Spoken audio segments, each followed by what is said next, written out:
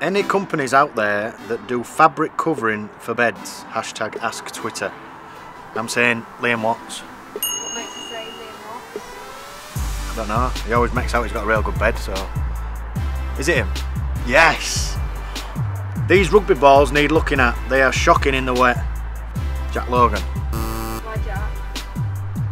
I don't know, it just seems the kind of thing that he'd moan about. Have another guy. Josh Bowden.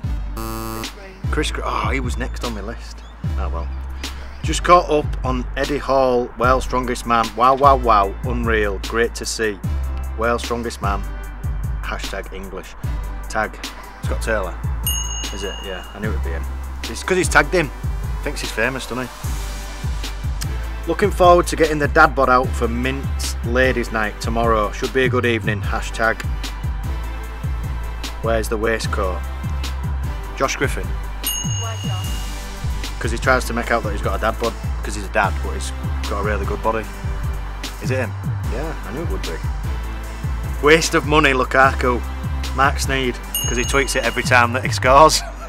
Is it him? Yes, I knew it would be. That's it, all done. Fantastic. I did alright then, did didn't I? Yeah. Still, I'm always on Twitter.